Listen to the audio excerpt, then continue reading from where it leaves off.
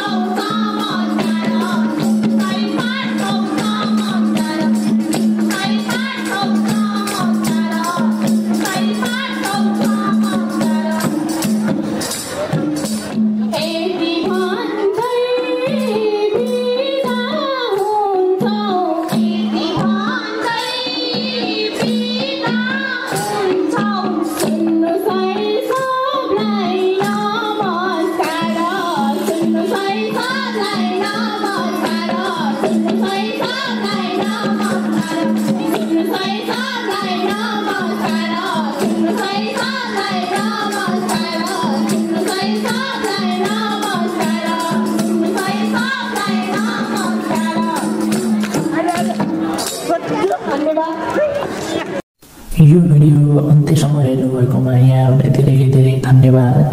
यस्तै यस्तै नयाँ अनि ताजा भिडियो हेर्नको लागि हाम्रो च्यानल सब्सक्राइब गर्न नभुल्नुहोला साथसाथै साइडमा रहेको बेलायकन पनि दबाउन नभुल्नुहोला।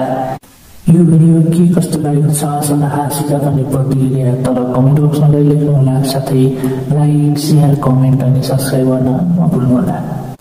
हस्त धन्यवाद।